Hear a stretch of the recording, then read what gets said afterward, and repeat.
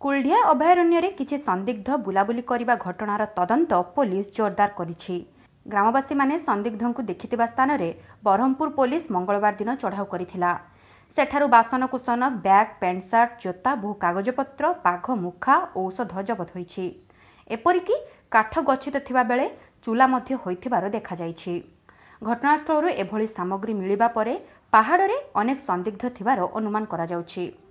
ସୂଚନା ଅନୁସାରେ ମୟୂରଭଞ୍ଜ ଜିଲ୍ଲା ଓ ବାଲେଶ୍ୱର କୋଲ୍ଢିଆ ସୀମାନ୍ତ ପିଠାହାତା ପଞ୍ଚାୟତ ରାଇକାଳିଆ ପାହାଡ଼ରେ କିଛି ସନ୍ଦିଗ୍ଧ ବ୍ୟକ୍ତି ବୁଲାବୁଲି କରୁଥିବା ଘଟଣା ଗ୍ରାମବାସୀଙ୍କ ନଜରକୁ ଆସିଥିଲା। ପରେ ଗ୍ରାମବାସୀ ସମବେତ ଭାବରେ ପାହାଡ଼କୁ ଯାଇ ଇଞ୍ଜେକ୍ସନ ସିରିଞ୍ଜ ଔଷଧ କାଗଜପତ୍ର ବ୍ୟାଗ୍ ଓ ଅନ୍ୟାନ୍ୟ ସାମଗ୍ରୀ ପଡ଼ିଥିବା ଦେଖିବାକୁ ପାଇଥିଲେ। ଏପରିକି ହିନ୍ଦୀ ଲେଖାଥିବା କିଛି କାଗଜ ମଧ୍ୟ ପଡ଼ିଥିବା ଦେଖିଥିଲେ। ଏନେଇ ଖବର ପାଇ ମଧ୍ୟ ପୋଲିସ କାର୍ଯ୍ୟାନୁଷ୍ଠାନ କରିନଥିଲା। ସୋମବାର ଦିନ ପାହାଡ଼ରେ ଥିବା ଜଣେ ସନ୍ଦିଗ୍ଧ ଯୁବକକୁ ଗ୍ରାମବାସୀ କାବୁ କରି ଏକ ଗଛରେ ବାନ୍ଧି ଦେଇଥିଲେ। ସେ ହିନ୍ଦୀରେ କଥାବାର୍ତ୍ତା ହେଉଥିବା ବେଳେ ତାଙ୍କ ଭାଇ ସମେତ ଆଉ କିଛି ଲୋକ ପାହାଡ଼ରେ ଅଛନ୍ତି ବୋଲି ସେ କହିଥିଲା। ଏପରିକି ସେମାନେ ଚୋରି କରିବାକୁ ଆସୁଥିବାର ଗ୍ରାମବାସୀଙ୍କ ଆଗରେ ସ୍ୱୀକାର କରିଥିଲା।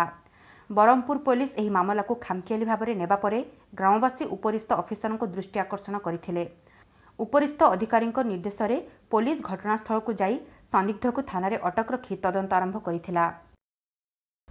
ସବସ୍କ୍ରାଇବ୍ କରନ୍ତୁ ସଂକେତ ଟିଭିର ୟୁଟ୍ୟୁବ୍ ଚ୍ୟାନେଲକୁ ଏବଂ ବେଲ୍ ଆଇକନ୍କୁ ଦବାନ୍ତୁ। ତାଜା ନ୍ୟୁଜ୍ ସବୁଠାରୁ ଆଗେ ଦେଖିବା ପାଇଁ।